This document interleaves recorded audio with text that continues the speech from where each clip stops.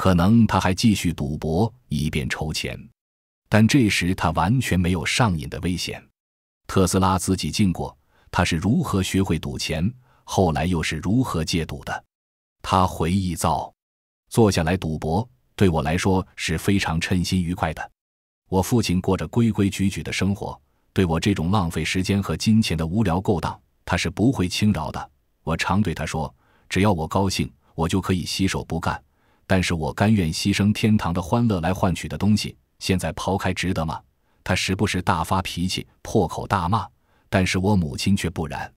他知道男人的脾气，他还懂得一个人想改邪归正，要依靠自己努力。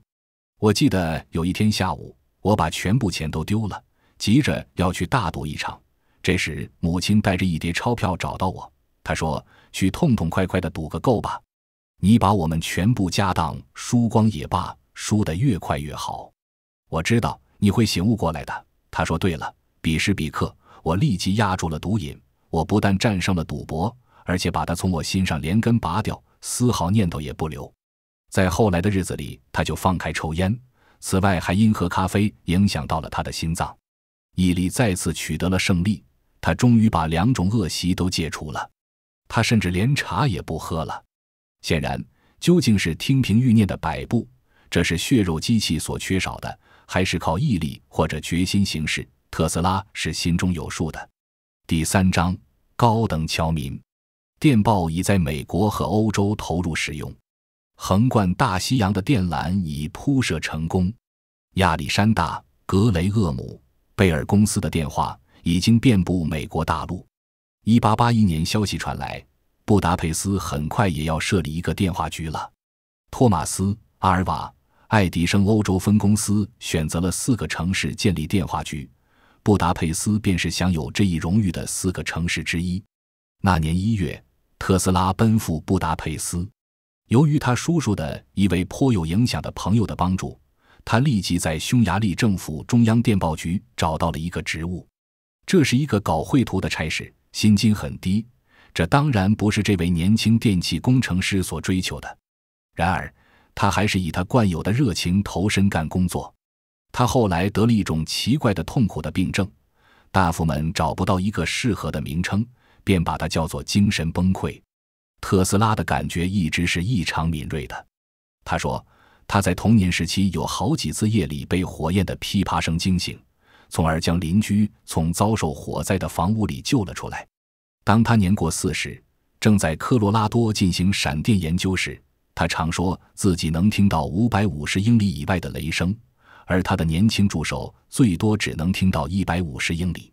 但是他在精神崩溃时期的表现，甚至按照特斯拉自己的标准来看，也是十分惊人的。他能隔着三个房间听到表的滴答声，一只苍蝇在他房间里落到桌面上，会在他耳朵里引起一阵轰鸣。马车在几英里之外驶过，能使他全身感到震撼；火车在二十英里以外鸣笛，能使他感到屁股下的椅子剧烈晃动，痛苦的难以忍受。他脚底下的地面老是不停的颤动。为了得到休息，他需要在床底下垫上橡皮垫子。他写道：“远近传来的咆哮声，常常造成一种有人说话的声音效果。要是我不能把原来的声音分辨清楚。”那着实太叫人毛骨悚然了。如果将太阳光断断续续的挡住，会对我的头脑造成猛然打击，以致使我晕倒。在桥梁或者其他构筑物底下经过时，我要使出全部毅力，因为这时我觉得头颅简直要被挤碎了。在漆黑的地方，我有蝙蝠的知觉本领，凭着前额上一种特殊的毛耸筋的感觉，我能判断出十二英尺之外有什么东西。在这个期间。他的脉搏波动得很厉害，慢时极慢，快时可达每分钟二百六十次。他身上的肌肉连续不停地抽动和打颤，这本身就是一种几乎难以忍受的负担。可想而知，布达佩斯的医疗界茫茫然不知所措。一位颇有名望的大夫让他服用大剂量钾，但同时他又说，这种重病前所未闻，是一种不治之症。特斯拉写道。我终生感到遗憾，当时没有生理学和心理学专家对我进行观察。我渴望生活，但我再也不能指望恢复健康了。可是他不但恢复了健康，而且由于一位忠诚的朋友的帮助，很快获得了比以往任何时候都更加旺盛的精力。这位友人便是安妮塔尔·西格迪，一位常和特斯拉一道工作、技艺高超的机械师，一位运动员。西格迪说服他注意锻炼身体。这个时期，他们两人常常到城里做长时间的散步。在离开格拉茨工艺学校以后的几年时间里，特斯拉始终没有停止考虑那个令人不满意的直流电机问题。后来，他以他习惯的夸张语气写道：“他所以考虑这个问题，并不单纯是执意谋求成功。对我来说，这是一个神圣的誓约，是一个生死存亡的问题。我知道，如果我失败了，我就会粉身碎骨。但是事实上，他已经感觉到。”他已打赢了这一仗，在我的脑海深处已有了答案，但我还不能将其表达出来。一天午后，太阳快要下山了，特斯拉和西格迪在城里的公园散步。特斯拉正在背诵歌德的《浮士德》，那西沉的步阳使他记起了一节光辉的诗句：“光芒随着一天的辛勤劳动消失了，他奔向彼方去寻找新的生命之邦。”啊！但愿我插上翅膀，脱离大地，跟随着光芒飞翔，飞翔。于是，思想像一阵闪电涌现，顷刻之间，真理被揭示在面前。特斯拉那一双正在挥动着的长长的胳膊，突然在半空中停住了，就好像因为痉挛突发而不能动弹。西格迪吓了一跳，赶忙把他扶到长凳上，但是特斯拉怎么也不肯做，却忙着去找树枝。树枝找来了。他就在地面上画起图来，他兴奋地高叫：“瞧我这只电动机！我要叫它反过来转。”六年之后，特斯拉给美国电气工程师学会做了一个报告，提出一种简明而又实用的新的科学原理，同时公布了这张图。由于这项科学原理的推广应用，整个技术界发生了一场名副其实的革命。他研究出来的不是是一种新式电动机，而是一种全新的系统。因为特斯拉想到了两个或两个以上互不同步的交流电产生旋转磁场的原理。事实上，他创造了由不同步电流产生的磁力旋流，因而整流器、使电流换向的装置以及为电流提供通路的电刷都不必要了。他一举驳倒了波埃希尔教授。别的科学家也一直想发明交流电动机，但他们都只是使用单一回路。这和直流电没有什么两样，结果不是不转，就是转的不好，引起大量的无功震动。曾在美国制造了一台发电机的艾里胡·汤姆森，早在1878至1879年就使用交流电为弧光灯供电。欧洲的戈拉德和吉布斯首先制成了交流变压器，这是在电力输送过程中为了增高或降低电压而必不可少的装置。乔治·程斯汀豪斯很早就主张使用交流电以实现美国电气化的宏伟计划，他决心买下戈拉德和吉布斯的美国发明专利权。尽管有这么多人做过努力，但是没有谁真正制造成功交流电动机。最后还是特斯拉做到了这点。他发明了一台感应电动机，这是一种新式系统的心脏，是超越时代的大飞跃。当然。做出伟大发明是一回事，让人们都知道这项发明又是一回事。特斯拉开始有些想入非非，以为这下他该名利双收了。这也难怪，要知道他的工资收入十分微薄，只够勉强糊口。他曾以难言的苦衷说过：“一个月的后二十九天是最难熬的。”但现在他感到生活困苦也没有什么了不起，因为他知道自己最终可以自称为发明家了。这正是我渴望得到的东西，他回忆道。阿基米德是我的理想，我钦佩美术家的作品，但我以为美术作品不过是些影子和外表，而发明家呢？我想他们为世界创造出来的东西都是摸得着、看得见的，实实在在、顶是管用。在后来的日子里，他完全沉醉在发明各种新型交流电机的狂喜之中。他回忆道。我一生还没有享受过如此欢乐和幸福，各种念头像泉水一样在我心坎上源源涌现。唯一的困难就是如何迅速地将这些念头紧紧抓住。我想出来的各种装置，在我看来都是切实存在的。我对每一点细节都了如指掌，哪怕是最微小的磨损痕迹，也逃不过我的眼睛。我满心喜悦地想象着电动机在不停地飞转。当天生的爱好发展成为强烈的欲望时，一个人会以惊人的速度奔向他的目的。实际上，我在不到两个月的时间里，就搞出了几种形式的电动机，搞出了全套系统的几种新样式。他想出了各种各样实用的交流电动机，像多相感应电动机、分相感应电动机和多项同步电动机，同时也想出了产生。输送和使用电流的一整套多项和单向电动机系统。的确，后来全世界的所有电力都是通过特斯拉多项系统产生、输送、分配并转变为机械动力的。由于有了特斯拉系统，就可以获得比直流电高得多的电压，就可以将电力输送到几百英里之外。它预示着一个到处充满着电的光和力的新时代的到来。爱迪生的碳丝电灯泡虽然可以用交流电，也可以用直流电，但是电力的输送很不经济，因为每隔两英里就得装一台发电机。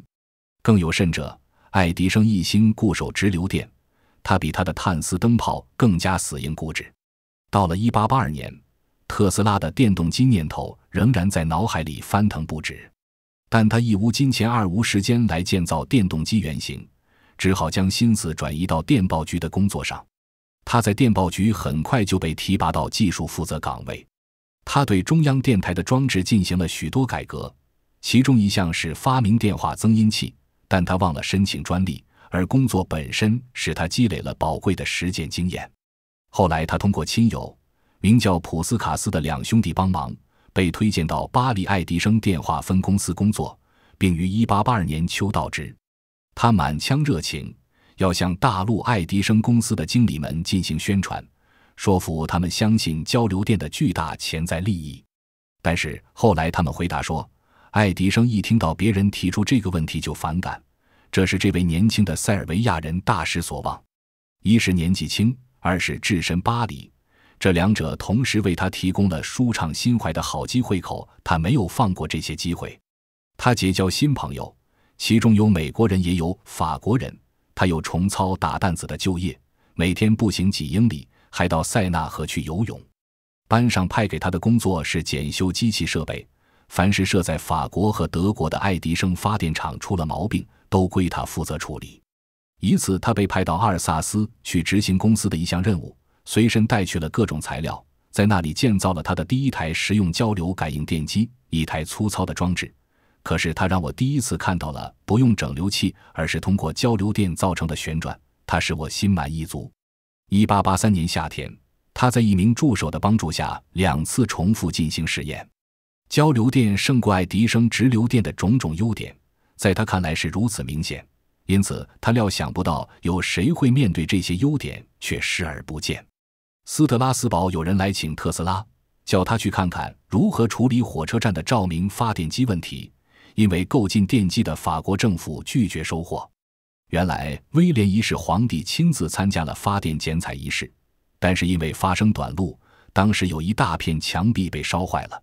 法国分公司弄不好就会蒙受严重的财政损失，因此他们答应特斯拉，只要他修好发电机，把法国人平息下来，就需给他一笔奖金。对一个经验不足的人来说，这是一件棘手的差事。好在特斯拉会讲德语，这给他带来很大方便。结果他不但修好了电器方面的故障，而且和市长 M 鲍辛交上了朋友。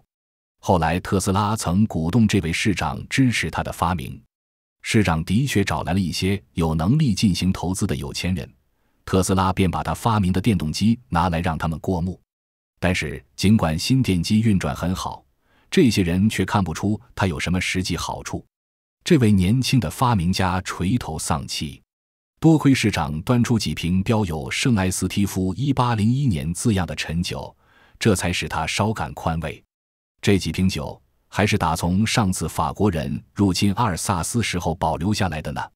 市长好心劝慰说：“除了特斯拉，没有人配喝这种名贵的佳酿。”发明家顺利完成任务之后，就返回巴黎，一心盼望领取奖金。但是结果扑了一场空，这使他不胜沮丧。他的三个顶头上司互相推诿，最后特斯拉发现受骗了，于是一气之下辞去了职务。电厂经理查尔斯·巴切罗是爱迪生多年的密友和助手，他对这位年轻塞尔维亚人的能力十分赏识。他鼓励特斯拉上美国去，据说那里花香草壮，金钱遍地。巴切罗是一位英国工程师。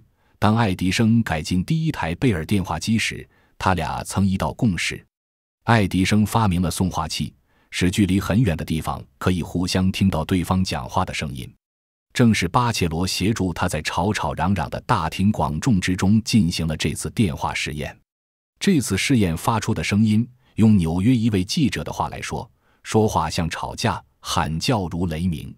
后来，这位英国人和爱迪生一道，共同管理哥伦比亚号轮船上安装的爱迪生第一套商用成套照明发电装置。这艘轮船绕河恩角开往加利福尼亚，在驶过特拉华湾时，船上灯火一片辉煌。巴切罗满以为他十分了解爱迪生。因此，替特斯拉写了一封热情洋溢的推荐信，介绍这两位唯我独尊的天才互相认识。可是后来的情况证明，巴切罗对爱迪生的了解并不是他自己想象的那样深。特斯拉后来回忆道：“我将我那颇为寒酸的家当变卖了，锁上房门，赶到火车站。这时火车正要出站，我才发现我的钱和车票都丢了，怎么办？”赫格里斯可以有充分时间从容思考，可是我此时此刻得当机立断。我一边追着火车跑，脑海里矛盾纷乱的思绪一边上下翻腾不止。我突然灵机一动，在这紧急关头生出了个主意。他搜出了购买一张车票的所有零钱，一下就跃上了火车。后来他又凭自己三寸不烂之舌，登上了萨杜尼亚号轮船。说来也巧。谁也没有过问被他占用的铺位。去纽约的一路上，他除了口袋里还剩下几枚铜板以外，身上带的就只有他写的几首小诗和文章，加上一小包据他说是无法解决的问题的计算稿，还有一种飞行器的图样。的确，他年方二十八岁就已经成为世界一大发明家了。可是无人知晓。第四章，投靠爱迪生。六月的一天。在曼哈顿城堡公园移民局一带，特斯拉头戴黑色圆顶硬礼帽，身穿浅白斜切的黑色燕尾服，一步跨到岸上。见他这身打扮，至少不会有人把他错当成一位门的内哥罗牧师或者一个逃债的流浪汉。那是一八八四年，也就是法兰西人民向美国赠送自由女神的那一年。庞福是响应艾玛·拉萨鲁斯的号召。几年之内，就有一千六百万欧洲人和亚洲人涌进这个国家，而且人们还要源源不断的接踵而来。为了推动迅猛发展的美国工业革命滚滚向前，像需要燃料一样需要男子、妇女甚至儿童。那也是一八八四年大恐慌之年。移民局有一座故宫楼，凡是新来的人都经过这里登记，然后分派到劳工队，发配到铁路、矿山。工厂或者牲畜场从事一天十三个小时的苦役。特斯拉没有进故宫楼的门口，他口袋里装着一封给爱迪生的介绍信和一位熟人的地址。向一位警察打听过方向，就大胆地跨进了纽约的街道。他走过一家店铺门口时，看见老板冲着一台坏了的机器破口大骂，于是停下步子，主动上前帮助修理。特斯拉把机器石锥停当了，老板十分高兴。一下子赏了他二十块美元。这位年轻的塞尔维亚人边走一边想起他在船上听到的一段笑话，不由得暗自好笑。有一位门的内哥罗牧师刚刚到达美国，正在穿道街道，突然瞥见地上有一张十美元的钞票，他弯腰把钞票拾了起来，然后站住不走了，自言自语地说道：“刚到美国第一天，我何必还去干活呢？”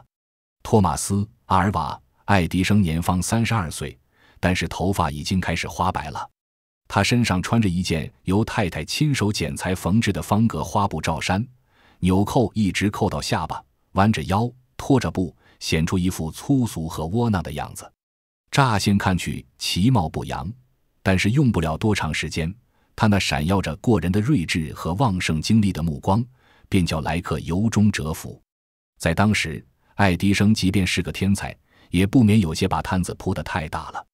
他在戈尔克街开办爱迪生机器厂，又在第五街六十五号设立爱迪生电灯公司。他在珍珠街二百五十五杠五十七号开设的发电站，为整个华尔街和东河区供电。他在新泽西州的门罗帕克还有一座巨大的研究所，雇佣了大量人员，尽可以干出惊天动地的事情来。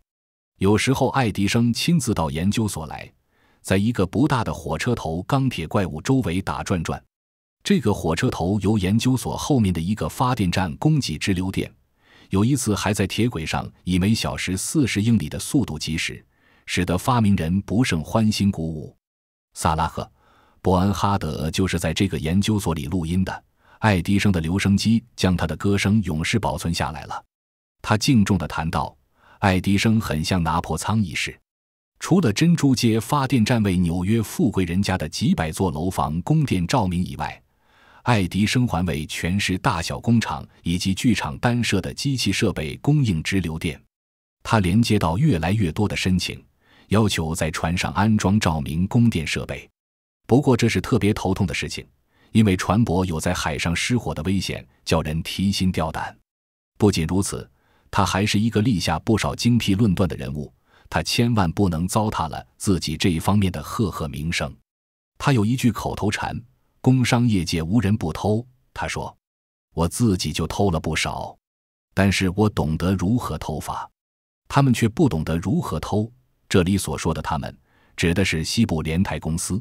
他一方面为这家公司工作，另一方面又把一项有竞争力的发明卖给这家公司的对手。他还有一种傲慢的说法：他自己不必搞数学，因为他随时都可以雇佣一批数学家。按照正规办法培养出来的科学家也许会恼火，但是毋庸否认，当时在美国技术发展的特殊阶段中，论对国家的贡献，工程技术人员和发明家大概要比当时的科学家更为突出。谁都知道，爱迪生常常喜欢说，他总是根据赚了多少美元来判断他的某项发明的价值，别的他统统不管。朱利安·霍桑发现，如果爱迪生先生放弃发明，专写小说，他一定会成为一名伟大的小说家。一八八四年夏天，在一个特别闷热难受的日子里，这位美国发明家听说第五街万德比特楼房发生了电气事故，慌忙赶往他设在珍珠街的发电站。原来，英房一个地方的壁板装有一些很细的金属丝，由于壁板后面有两根电线相交，而引起火灾，将房子烧着了。火虽然扑灭了。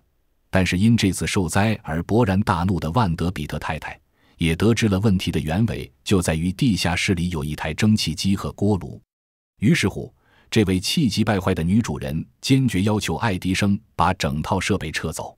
他派走了一个修理组，然后拿起大杯子，呷了一大口凉咖啡，思考了一步该怎么办。电话铃响了，爱迪生拿起听筒贴到听力好的一只耳朵边。拥有俄勒冈号轮船的船舶公司经理一定要爱迪生说清楚，他是否已安排计划抢修他们的照明用发电机。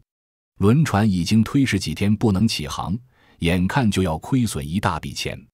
爱迪生能说什么呢？他已经没有工程师可派了。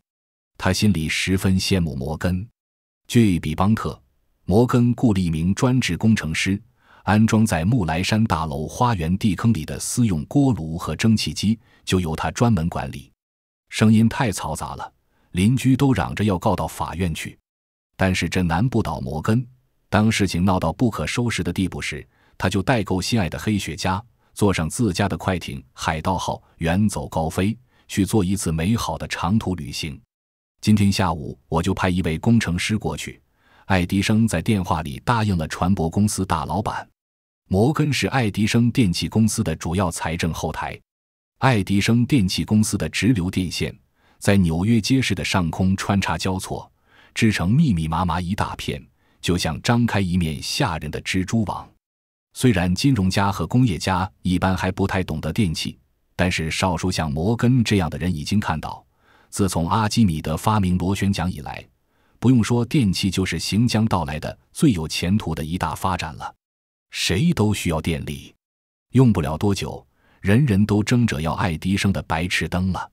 对于爱好科学发明的有天才的人来说，电气工程是一个可以大显身手的领域。它不但让人赚钱，而且像是一片渺无人迹的幽地，充满了诱惑和危险。当时在美国，以拥有初次问世的电气工程学科而引为自豪的学校寥寥无几。康奈尔大学和哥伦比亚学院便是其中两所。在美国，除了爱迪生、约瑟夫、亨利和伊莱修、汤姆孙这些伟人以外，属于本国土生土长的专家真是屈指可数。这样一来，工业家都想从外国天才来源当中汲取人才，例如特斯拉、迈克尔、普平、查尔斯、普罗提斯、斯坦梅茨、巴切罗、弗里茨、洛温斯坦以及他人。但是，纽约是能够电灯高照，时而熄灭，这还得从头感谢爱迪生的聪明才智。新的能源具有巨大魅力，因此有一家制造厂在圣诞节前大做广告，敦促做父亲的准备好一个双孔插座，好叫全家大吃一惊；送给母亲一件电器紧身胸农，送给父亲一条磁性皮带。尽管看起来有点莫名其妙。但也算是一份叫人赶上潮流的礼物，在农村集市上的乡下佬都乐意出钱叫蓄电池的电流打一下，尝一尝触电的滋味。话说六月那天，爱迪生答应将一位根本不存在的工程师派往船舶公司。他刚刚把电话听筒挂上，一个气喘吁吁的男孩猛地冲进厂房，报告说安恩和内萨两条街出了问题。有一个分线盒是由发明家雇来的没有经验的电工负责安装的，现在漏电了。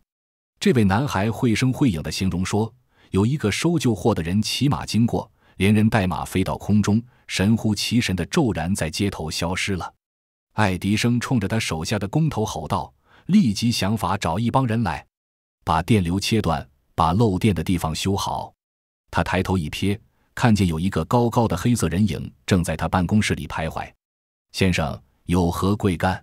特斯拉报过姓名，并说明了来意。他一字一句地操着英语说，把嗓门提得稍高一些，因为他知道爱迪生的耳朵不太灵。先生，我带来巴切罗先生的一封信。巴切罗，嗯，巴黎出什么问题了？没听说有什么问题，先生。胡说。巴黎老师出事。爱迪生看过巴切罗的简短介绍信，哼了一声。他以咄咄逼人的眼光对特斯拉上下打量一番。我知道两位伟人，您是其中之一。再就是这位年轻人，嗯，这还值得介绍。你能干什么？特斯拉还在船上的时候，就已经为了应付这个时刻而排练多次了。爱迪生的名声使他深为敬仰。面前这个人物。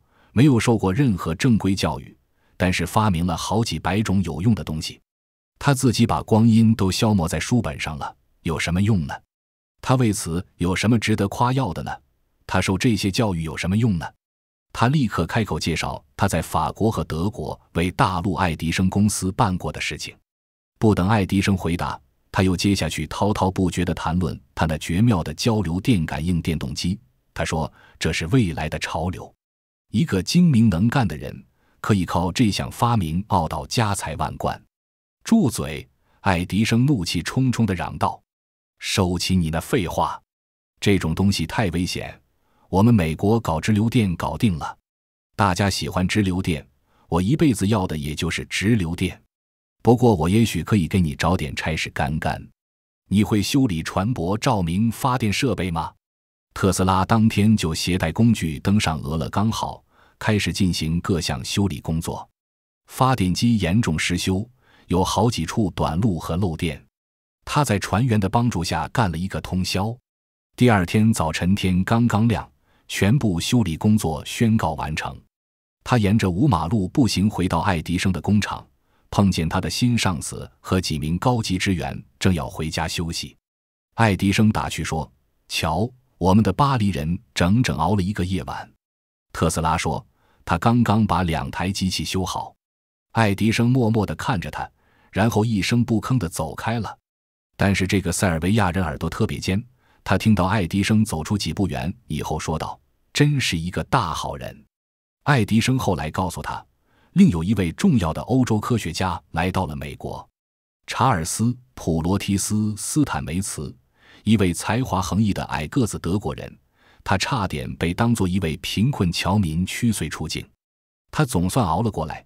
找到通用电气公司设在斯科内克塔迪的第一家工业研究所，成为在那里侨居的一位天才人物。后来，当爱迪生和通用电气公司需要机器直追时，他曾经帮助发展一种能与特斯拉交流电系统相抗衡的技术方案。特斯拉的技术很快就受到了爱迪生的赏识，爱迪生给特斯拉以几乎完全自由的特权。由他全权处理工厂的设计和送行方面的各种问题，他照例从上午十点半钟一直工作到第二天早晨五点钟。这种精神使得他的新上司不得不勉强承认：“我有过许多勤奋工作的助手，但是数你第一。”这两位人物都可以在紧急状态下一连两三天不合眼，他们身边的普通凡人个个甘拜下风。可是，爱迪生手下的人常说。爱迪生私下偷偷打瞌睡。过了不久，特斯拉找到一种办法，能使爱迪生的原始发电机即使仍旧发直流电，也可以达到较高效率。他提出一个改造这种发电机的计划。他说：“这不但可以改进发电机的性能，而且可以节约大量金钱。”爱迪生生就一个奸猾的商人脑袋，一听到钱便心花怒放。但他懂得，特斯拉所说的办法非同小可。需要很长时间才能实现，他说：“如果你能够办到，给你五万美元。”特斯拉发疯似的干了好几个月，很少睡过一个整觉。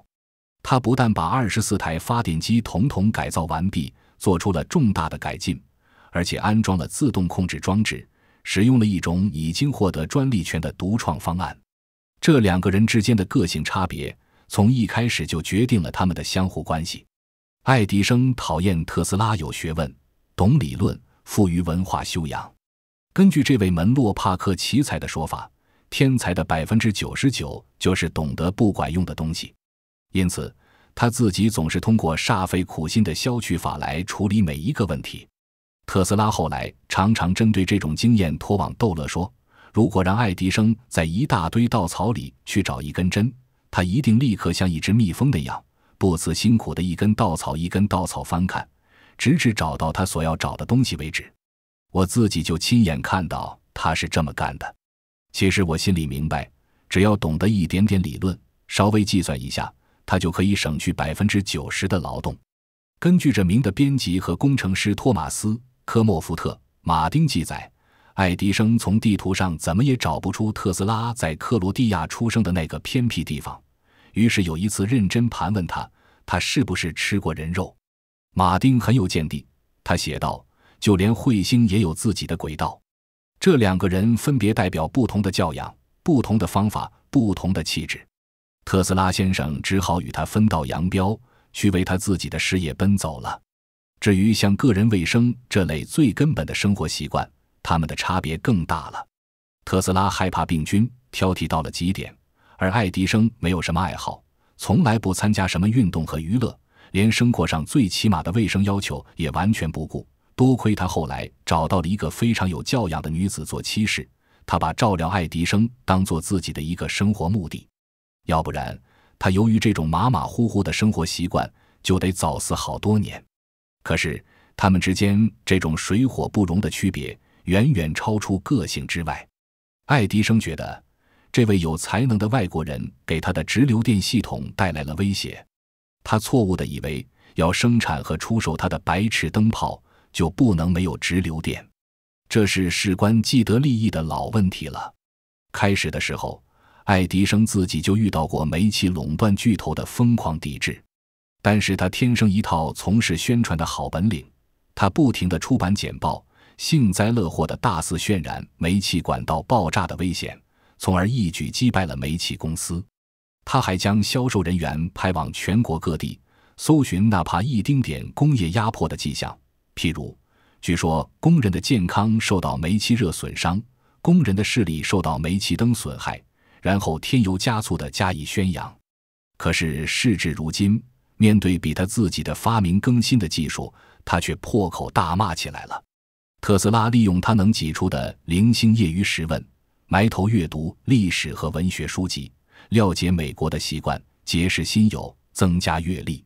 他的英语已经说得很流利。甚至还开始领会美国的幽默感了，至少他自以为已经领会这种幽默感了。后来的情况证明，爱迪生在这方面还有足以教训他的一些本钱。他喜欢到纽约街头漫步，大街上本来已经够挤的了，现在再加上新式的有轨电车，不但显不出什么欢乐，反而更加拥挤不堪。为电车供电的中央发电机有一半时间因事故停机。当有轨电车开动时，行人和乘客都被吓得心惊胆战。一家报纸的编辑还若有其事地警告说：“谁要是乘坐电车，很可能会中风，届时切莫责怪别人。”不知是何原因，邪恶的有轨电车对布鲁克林区危害尤甚，因此当地居民们团结一致，共同提出了一个口号：“不要有轨电车。”后来，这个区成立棒球队时。顺乎自然地给球队起名为布鲁克林汽车队。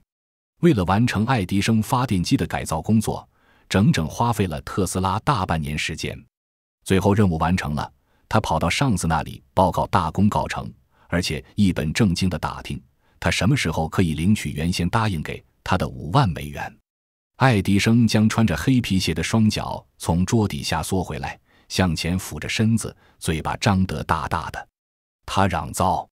特斯拉，您太不懂我们美国人的玩笑和幽默了。看来这位塞尔维亚人再一次受到了爱迪生公司的有意欺骗，他十分愤慨，扬言要退职。爱迪生做了妥协，答应在他每周十八美元的高薪之外再添十美元。特斯拉拿起他的圆顶礼帽，阔步跨出了房门。爱迪生一派人的说法不同。特斯拉提出将交流电专利卖给爱迪生，价格五万美元，但是爱迪生开个玩笑拒绝了。在爱迪生眼里，特斯拉是一位科学诗人，他的思想辉煌瑰丽，但丝毫不切实际。他告诫这位年轻工程师说，他是会犯错误的。有一段时间果然如此，美国仍然深深笼罩着金融危机，很难找到工作。爱迪生完全掌握在摩根的手心里。他自己也有棘手的财务问题，这位发明家想全速前进，银行家却坚持缓步政策。摩根家族将资本源源倾注于大规模的铁路事业，而爱迪生想获得少许的扩建贷款，也遭到摩根拒绝。摩根化的进程遍及四方，这位金融家不论染指何处，他都立刻控制到百分之五十一的资本，而且一定要进入董事会。只不过隐姓埋名，摩根化意味着一步步吞并同一行业的各家公司，抛售掺水股票，通过消除你死我活的竞争来集中权力。摩根四十多岁，正在接近他的权力顶峰。他阴险毒辣，刚愎自用，目空一切，根本不把同事、下属和公众放在眼里。他身高六英尺，体重二百磅，由于害上一种不幸的皮肤病。鼻子就像原笛声新奇的灯泡一样闪闪发亮，但是他不愧是强中强，俨然成了战功赫赫的唐皇。他自命风雅，经常出访欧洲搜集艺术品。就欧洲而论，他比起那些聚敛就世界财宝的暴发户来说，鉴别力倒是略胜一筹。他是主教派教会的坚决支持者，每逢午后，常常离开他设在华尔街的办公室。专程赶赴圣乔治主教派教堂，在他中意的风琴手伴奏下，对着房梁吼起那着名的唱诗，兴高采烈地唱上个把钟头。铁路价格战和工人闹事这类时弊，威胁到他拥有的全部车辆，使他终日不得安生。因此，他一有机会就从办公桌边溜走。他在美国旅行时，乘坐的是一节价值十万美元的宫廷包车。而且整趟列车要经过精心挑选，凡是较低等的车辆都要从他行经的路线上调开。他也像爱迪生一样，已有精辟的格言而着称。有一个格言是特斯拉经常记得的，这就是人不论做什么事都有两个理由，一个是好听的理由，另一个是真正的理由。一八八四年的金融恐慌造成了极大的不安全感，全美国成千上万的小本投资人都破产了，实业家都纷纷求助于强大的摩根家族，而不去求助于政府。在这位金融家看来，他想一手控制经济机器的全部精心计划，可能因铁路事业发展过快造成的劳工纠纷和价格战而毁于一旦。任何人都清楚。为了进行投机而修筑的铁路是太多太多了，许多铁路都面临破产，必须考虑合并。但是，摩根并不是一个随便听凭摆布或者鲁莽从事的人。让他的竞争对手着急去吧，他到欧洲去游山玩水，收集各种艺术品。就在特斯拉来到美国的那年，时值仲夏，摩根一路上痛痛快快地来到了英国。一到英国。他就接二连三地收到从美国发来的有关铁路出事和发生恐慌的倒霉报告，最后他只好答应回国，用他那所向无敌的头脑为国效劳。摩根的办法只不过是将吵闹的各方召集一起，在海盗号船上开一次和平会议。他领着那些俯首就擒的工业大王，一整天沿着海湾和东河上下航行。这不是个人之间的战争。而是互相拼搏的石油、钢铁和铁路势力之间的战争，是寡头之间难解难分、你死我活的斗争。夜幕降临，摩根已经巧妙地将所有人改组完毕了。他通过聪明的合并，将你死我活的竞争减少到了最低程度。摩根手腕之高，由此可见一斑。他的这种手腕，很快就在大有前途的电气事业新领城里大显神通。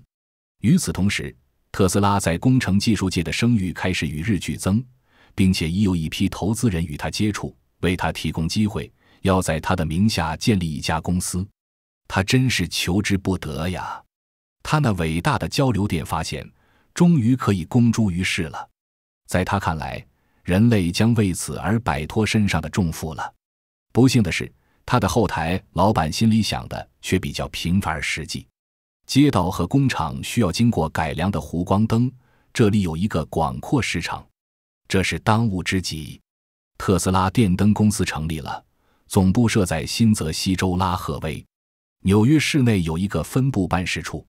在参加公司的人员当中，有一位名叫詹姆士 ·D· 卡尔缅，他是特斯拉二十多年的幕后同盟。他和约瑟夫 ·H。霍德利后来在特斯拉的好几家公司任经理。这位塞尔维亚人在格朗德大街建立了第一座实验室，于此研究成功了特斯拉弧光灯。它与当时正在使用的弧光灯相比，结构简单、安全可靠、经济实惠。此种系统已登记为专利，第一批安装在拉赫威的街道上。特斯拉得到的代价就是获得公司的股份。可是到后来，美国的商业方式使特斯拉感到痛心疾首，他发现自己被排挤出公司之外了。他最后只落到拿到一张印制精美的股票券。由于公司是新成立的，而且经济危机反复发生，这张股票券已经没有多少兑现价值了。特斯拉第三次败北，经济不景气发展成为萧条，特斯拉找不到工程技术工作可做。从1886年春天直到第二年。他经历了他一生中一个更为消沉的时期，他沦为一名苦力，在纽约街头巷尾扛大活，几乎无法糊口度日。特斯拉后来很少提到这段痛苦的经历，但是渐渐情况毕竟还是有了些起色。他的弧光灯发明终于获得了七项专利，其中两项特别有价值：专利号三十九万六千一百二十一热磁电机，专利号四十二万八千零五十七。热磁电力发电机，并参见三十八万两千八四十五发电机用整流子。按照这两项发明，可利用铁在温度超过摄氏七百六十度时的磁性损耗，将热直接转变为机械能或电能。和特斯拉的一些发明一样，这两项发明也没有立刻得到应用，而且后来被忘记了。但是到了二十世纪的最近一个时期。有一项相同的发明引起了注视，而对特斯拉的先期发明却只字不提。自从特斯拉发现旋转磁场，并在斯特拉斯堡制成第一台交流电机以来，过去了整整四年，他已经开始怀疑美国绿油油的牧场和金灿灿的前程是不是依然可望而不可及。他因为最近的失意而感到羞辱，禁不住又想起他白白受了歹么多年教育，心中郁郁不乐。但是不料他后来时来运转。有一位船员领班一听说他搞出了感应电动机，就领着他去见西部联合电报公司经理 A.K. 布朗。此人不但懂得交流电，而且对这种新发明很感兴趣。爱迪生看不到一场革命即将到来，或者更正确的说，爱迪生听到了他自己的电气化直流系统的丧钟，但是布朗却正确的估计到了未来的发展。在布朗的帮助下。在特斯拉名下，另外成立了一家公司——特斯拉电气公司。这位发明家1882年在布达佩斯一座公园里想出了交流电系统，而这家公司的目标，最终就是要将这种交流电系统制造成功。第五章：电流之战。特斯拉欢欣鼓舞，在南五街三十三杠三十五号为他的新公司建立了实验室和厂房。这个地点和爱迪生的工厂仅仅相隔几条街。特斯拉电气公司的全部资金为五十万美元，于一八八七年四月正式开业。发明家日盼夜盼，终于盼到了这一天。对他来说，梦想实现了。他就像自己的发电机那样，日夜奔波不息。因为他早似胸有成竹。因此，只花几个月时间就为整套多项交流电系统申请专利了。实际上，这是单向、双向和三向交流电的三套完整系统。他也试验了其他种类系统，为每种类型制成了必须的发电机、电动机、变压器和自动控制装置。这个时期，美国总共有几百座中心电站在发电，使用不下二十种不同的线路和设备组合方式。一般来说，这些组合方式都集中利用一种发明或一组发明。例如，1886年，伊莱修·汤姆孙在马萨诸塞州林恩地区的汤姆孙一体斯顿公司的一家工厂，安装了一台小型的交流发电机和变压器，专为另一家工厂的白炽灯供电。但是他后来又花了一整年时间，才找到了在房屋内铺设电线的安全方法。火车气动闸的发明人乔治·威斯汀豪斯的情况亦是如此。他获得了戈拉德和吉布斯的交流电配电系统专利，派他的总工程师威廉·斯坦利去建造变压器系统，于1886年试验成功。这年11月，威斯汀豪斯在布法罗将美国第一套商用交流电系统投入使用。到了1887年，他已经有三十多座交流电站投人运转。除此之外，当然还有在这领域里的最早竞争者之一——爱迪生电气公司的直流电系统。但是，仍然没有令人满意的交流电动机。特斯拉在工厂开办后的六个月时间里，给专利局送去了两台电机进行试验，并且取得了他最早的交流电专利。直到1891年，他提出申请并获得批准的专利总共达四十项。这些发明是如此新颖独到。如此无懈可击，以致特斯拉的专利申请丝毫没有受到耽搁。现在，他终于迅速受到大家的公认了。威廉 ·A· 安东尼在康奈尔大学设立电气工程课程，他立刻意识到了特斯拉系统的重大意义，为其大声疾呼：这不单是一种新的电机，它完全可能是一种新兴技术的基础。安东尼指出。这种系统的关键在于一种无与伦比的简单感应电动机，它几乎没有什么磨损部件，不易损坏。美国专利局的这种做法是没有先例的。消息传遍了华尔街，也传遍了整个工业界和科学界。由于得到安东尼教授的推荐，这位原来默默无闻的塞尔维亚人于1888年5月16日应邀到美国电气工程师学会做报告。特斯拉自己也没有料到。他本人竟是一个天生的出色演讲家，他的这次报告成为了一篇经典之作。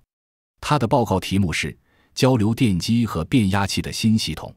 B. 别朗德博士评论这次报告时说：“自从法拉第的电气试验研究问世以来，还没有一个人把一项伟大的试验真理讲解得如此简明而透彻。后来仿效他的人，只有完全照办而已。他的论文甚至包含了数学理论的要义。特斯拉是赶上时候了。他的专利正是乔野·威斯汀豪斯盼望已久、求之不得的一把钥匙。”这位匹兹堡大王身材粗胖，动作迟缓，精力充沛，嘴上留着一撮海象胡子。他喜欢时髦的服装，乐谦从事冒险。他像摩根一样，后来也常常乘坐他的私人火车包厢出游。开始是从匹兹堡到纽约，最后到尼亚加拉瀑布。威斯汀豪斯是一个搞投机的好手，这一点他同爱迪生略有几分相像。他也像爱迪生一样是一名斗士，这两个人在即将到来的搏斗当中就要决一雌雄了。威斯汀豪斯是个埋头苦干的实业家，同那种巧取强夺的豪门不一样，他并不把收买政治家和诈骗老百姓看成是生财之道。他从一开始就看重、就赏识的东西，乃是发电系统的潜力。让高压电流滚滚越过美国广袤大地上空的发电系统的潜力，他和特斯拉一样，甚至梦想驾驭尼亚加拉瀑布的水电潜力。他到实验室去拜访这位发明家，这两个人都充满对于新能源的幻想，而且都爱讲究仪容，颇有些相见恨晚。特斯拉的厂房和实验室挤满了各式各样引人人胜的仪器装置。威斯汀豪斯从一台台机器面前经过，有时候探身向前，两手支在膝盖上仔细观看；有时候歪着脑袋，对交流电机平缓的嗡嗡声高兴地点头称赞。他用不着别人给他做更多的解释。有过这么一段故事，可惜没有文字记载。据说威斯汀豪斯后来向特斯拉提出，要付给他一百万美元的外加专利使用费，以换取他的全部交流电专利。如果确有其事，那么一定是特斯拉谢绝了，因为据资料记载，特斯拉的四十件专利从威斯汀豪斯公司只获得了大约六万美元，其中五千美元是现金，其余是一百五十张股票。然而，值得注意的是，根据威斯汀豪斯公司的历史资料记载，每销售一马力电力，特斯拉应获得二点五美元。用不了几年。这部分专利使用费就会凑成难以置信的惊人的一大笔钱。不管怎么说，特斯拉获得多少钱都要分出一部分给布朗以及他公司里的其他发明人，因此他还远远算不上腰缠万贯。可是他已经摆脱了衣衫褴褛的窘境，一跃而为曼哈顿社交界的时髦人物了。这是大家一致公认的，也是大家十分惊讶的。他同意给威斯汀豪斯当顾问。就采用他的单项系统接受咨询，薪金每月两千美元，增加了收入固然是好事，但这就得移居到匹兹堡去了。而此时此刻，纽约四百豪门中的富贵人家已经开始对他源源不断地发出了夸人兴奋的社交邀请，他有些依依不舍地离去了。不难预料，要采用一种全新的系统会遇到种种困难。威斯汀豪斯当时使用一百三十三周电流，这不适合特斯拉的感应电机，因为这种电机是按六十周制造的。他如实告知有关工程师，结果却把他们给惹火了。他们按照自己的老办法，花费巨额资金，白白进行了几个月的实验，最后才采纳了特斯拉的意见。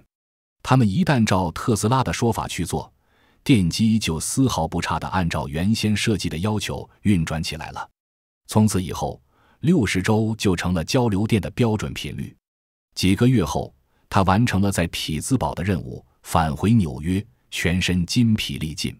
他在很大程度上觉得这几个月是白白浪费了，因为这段时间耽误了他进行新的研究，耽误了他的前进。九月，他赴巴黎参加国际博览会，随后由他的叔叔贝塔尔·曼迪奇陪同离开巴黎，前往克罗地亚。他叔叔曾在奥吉林附近的修道院里做过修道士，这位疲惫不堪的发明家就到这里来颐养身体。他后来去看望母亲和姐妹。有关他守寡的母亲的生活状况，以及他到美国挣钱以后是否帮助过母亲的问题，可惜找不到任何记载。但是从后来的一些事件中看出，母亲常常唤起他心中的萦怀。当爱迪生第一次听到特斯拉同威斯汀豪斯就交流电系统进行交易的消息时，不禁怒火中烧。图穷匕首现，没过多久，他在门洛帕克的宣传机器便连珠炮似的抛出一批批危言耸听的材料，大肆渲染交流电的种种危险。在爱迪生看来，交流电引起的事故，如果实在找不出来，也得人为的加以制造，好让人们警惕这些危害。这场电流之战，不仅关系财产的得失，而且危及一个奉行利己主义的天才人物的个人自尊心。现在艰难时刻已经过去，繁荣正在到来，整个国家百废待兴。匹兹堡要建钢铁厂，新的布鲁克林大桥就要出现，高楼大厦在曼哈顿直指云天，铁路、土地、黄金。使那些在发展声中及时进行投机的人们大发横财。爱迪生本人成了美国最大工业家之一，他的各家工厂雇佣了大约三千名工人。有些人立刻看出了特斯拉交流电系统的优越性，迈克尔·普平就是其中之一。但是普平后来和爱迪生、马可尼相勾结，搞了一个专门给他的塞尔维亚同乡拆台的三人同盟。事实上，普平曾说过，他由于赞扬这种新技术，几乎落到被哥伦比亚大学电气工程系开除的境地。普平是一个农家孩子，生长在塞尔维亚的边防地区。他十五岁时来到纽约，当时口袋里只装着一枚五分镍币，比特斯拉多一分钱。他后来去装煤，每吨可以挣五十美分。此后，他获得哥伦比亚大学和剑桥大学学位。他也像特斯拉一样，成为美国最伟大的物理学家和电气工程师之一。但是，电气工业界巨头根本不把技术精湛的电气专家放在心上，这使普平深感不安。他指责说，这些巨头所操心的，无非是谨防他们的直流电系统被交流电系统排挤掉，这完全不符合美国的精神风貌。这位新入籍的美国公民写道。每一个没有偏见的、有头脑的专家都清楚，这两种系统正好是相得益彰。对威斯汀豪斯手中掌握的专利，有些诉讼人，主要是与他竞争的制造厂家，提出了异议，宣称他们的人在特斯拉之前就已搞成了这些发明。提出这类诉讼的发明家有沃尔特·拜里、马塞尔·德普列兹和查尔斯 ·S· 希拉德雷。除此之外，为了把特斯拉专利甩掉，通用电气公司想了一个花招，抓住他们公司一位卓越数学家查尔斯·斯坦梅茨的一种叫做单循环系统的发明，为他申请专利。然而，斯坦梅茨本人从来没有想要觊觎特斯拉在交流电领域里的卓越贡献。这些勾当在公众心目中造成了混乱，就连工程技术界当中也有些人一直蒙在鼓里。岂知这种几乎到处一致采用的系统，纯粹是特斯拉的发明。这种混乱仍在一定程度上延续至今。尽管康涅狄克州美国巡回法庭的法官汤森德已在1900年9月做出明确和令人信服的裁决，为特斯拉正了名。单就这点来说，汤森德法官的裁决词也值得引证于此：捕捉和驾驭自然界和技术领域里无法控制、放荡不羁。并且至今互相矛盾的要素，利用它们去带动人类的机器，这要归功于特斯拉的天才。是他首次将阿拉哥的玩具变成电力发动机，将拜里的实验室试验变成实用的电动机，将指示器转变成传动装置。是他最早想到方向反转的障碍、交替作用之矛盾可以转化成产生电能的旋转运动，转化成旋转的力场。在别人看来，这是些无形的屏障。是不可逾越的流和相互矛盾的力，而他却牢牢抓住了。他使其方向协调一致，将尼亚加拉的动力应用到遥远城镇的实用电动机之中。今可作出判决如下：对所有上诉要求予以驳回。在新泽西州西奥林奇，爱迪生建立了一座巨大的实验室。住在附近的人家突然发现他们豢养的爱畜丢失了，但很快他们就弄清了原委。原来爱迪生找一些小学生为他去抓猫抓狗，每抓到一只给二十五美分。爱迪生故意用交流电进行残酷的实验，把这些猫和狗电死。与此同时，他大量散发骇人听闻的传单，蓝头上套红印着四个大字“谨防危险”。这些消息的意思是说，如果公众不加小心，他们到头来也可能被威斯汀豪斯化而一命呜呼。爱迪生为了报仇雪恨，足足准备了两年的时间。他在给 E.H. 约翰逊的信中写道：“千真万确，谁要是动用威斯汀豪新的交流电系统，不管功率大小。”六个月之内难逃结束。威斯汀豪斯搞到了一种新东西，但要想使这种东西变成实用，还需要进行大量试验。这种东西永远摆脱不了危险。过去，爱迪生曾派人到全国各地去宣传直流电的长处，而现在，威斯汀豪斯也在干爱迪生当年针对煤气公司所干之事。可是，爱迪生却反过来责难威斯汀豪斯了。他的任何计划丝毫不使我担心，唯一使我不安的是，威斯汀豪斯不惜工本将人员派往全国各地，他无孔不入，很快就要建立无数家公司，而我们还蒙在鼓里。威斯汀豪斯把眼光放在将来的发展上，不太注意爱迪生的威胁恫吓，但是最后他也决意开展一场宣传教育运动来进行对抗了。他说他要发表演讲，要写文章。要尽一切努力将真理展示在公众面前。他告诉特斯拉，他决心为公司赢得开发利用尼亚加拉瀑布的权利。他也注视着芝加哥，注视着1893年要在那里举办的哥伦比亚博览会。计划人员已经开始对这次活动庆祝美洲发现四百周年议论纷纷了。据说这次博览会将要办成一个明天的世界，一座把大地照亮的白色之城。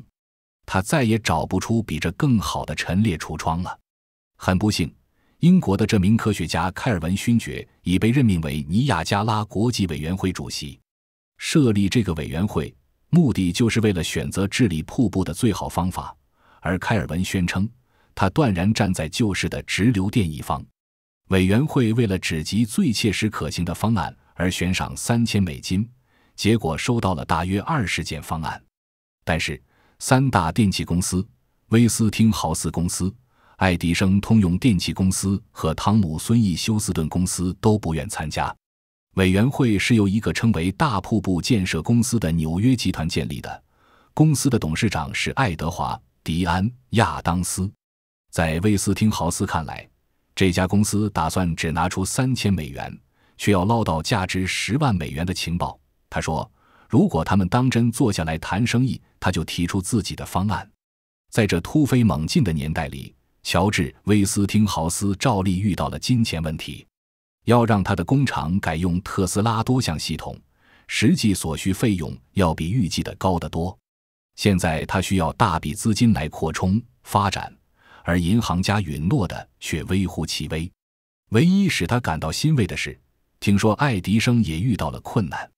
华尔街上下盛传，除非爱迪生加强联合，否则他面临的问题将不可收拾。他为了摆脱这些问题，不惜威吓叫骂。他说：“威斯汀豪斯应当抱住他的空气掣动器不放，因为他对电气事业一窍不通。”电流之战伊始，爱迪生进行佯攻，他疏通奥尔巴尼的议员们，通过一项法律限制电流的电压不得超过八零欧伏。他以为这样一来，交流电就被制住了。但是议员不买他的账，因为威斯汀豪斯进行了反击。他扬言要控告爱迪生公司以及他人在纽约州法律掩盖下从事的阴谋活动。爱迪生对匹兹堡的仇敌咆哮道：“这个人简直发疯了！他是在玩火自焚，迟早总要自食其果。”爱迪生一不做二不休，他除了利用报章。传单和言语进行一场恶毒的宣传运动外，还为报界新闻记者举办星期六示范表演会。他把记者召集在一起，当着他们的面，把小学生从街上抓来的狗和猫一只只战战兢兢地推到一块金属板上。金属板与交流发电机用电线接通，电压高达一千伏。巴切罗有时候也帮助进行这类揭露交流电罪孽的表演。有一次，他想抓住一只死命挣扎的小狗，自己却挨了一阵吓人的电击。他描写道：“回忆当时的情况实在可怕，整个身子和灵魂好像被扯成了两半。我觉得有一把巨大而粗糙的锤子扎进我全身上下颤抖的皮肉里。但是杀戮动物的勾当还是继续进行。爱迪生在这场搏斗中的的确确是豁出性命去干的，不过不是他自己的性命而已。爱迪生、萨穆尔、因苏尔以及一位名叫哈罗德 ·P· 布朗的原任实验室助理人员共同商量了一个方案，打算将第三方置于死地，从而按照他们的如意算盘，一举永远了结威斯汀豪斯。布朗使了些花招，将使用特斯拉三件交流电专利的许可证买到手，但不让威斯汀豪斯知道他们的真正用途。然后，布朗到新兴监狱跑了一趟。过后不久，监狱当局宣布，死牢将来执行死刑时不用绞刑，改用电刑。具体的说，使用威斯汀豪斯专利提供的交流电的电刑。赶在下一次行刑之前。布朗教授出发去为爱迪生进行巡回表演了。他在台上用交流电电死了好些小牛和大狗，并且说这是把他们威斯汀豪斯化了。这样一来，他等于向美国人发问：你打算叫你的娇妻用这样一种发明来做饭吗？纽约州间被当局宣布要对一名判了死刑的杀人犯第一次使用电刑。消息传出，群情激愤，正中爱迪生一伙的下怀。一八九零年八月六日，一个名叫威廉·坎姆勒的人就要丧命，就要威斯汀豪斯化了。坎姆勒被捆在电椅上，接着合上了开关。可是爱迪生手下的工程师疏忽了，因为他们以前一直都是在较小的生物身上做实验的。电荷太弱，犯人只是被电得半死。吓人的程序还得重新表演一次。据一位记者报道。这是一种可怖的景象，要比绞刑可怕的多。威斯汀豪斯顶住了这场拖延很久的卑劣运动，坚韧不拔地不断端正人们对交流电的看法，用大量事实和数字来说明交流电安全。值得庆幸的是，他得到了康奈尔大学教授安东尼、哥伦比亚大学教授普平以及其他一些有威望的科学家们的有效帮助。爱迪生的左右人员终于感到形势可能逆转，因此都设法说服这位大发明家，好让他明白，从他自家工业的前途来看，他犯了一个严重的错误。但是固执己见是爱迪生的一个弱点，他拒不承认。要他承认自己铸成了天下大错，恐怕需要二十年时间。总之，他有这样一句心爱的格言：“我倒不太在乎财产。”对我来说，最要紧的是要超过别人。但是，不等袁迪生决心承认他的科学错误，他早已经日益感到需要改变他对财产和名誉的看法了。他那经费拮据的困境发展到了无法收拾的地步。看来，进行合并几乎是势在必行了。汤姆孙体斯敦公司便是一个活生生的教训。这家公司被摩根家族吞并了。由一位名叫查尔斯 ·A· 科菲恩的经理经营。科菲恩是 J· 比邦特摩根的一位得意门生，他对竞争者发动了一场价格战。后来，疑似这些对手被削弱之后，就骗他们进行合并，将他们置于死地。汤姆孙和休斯敦就是沿着这条路子，一步步丧失了对自己公司的控制权。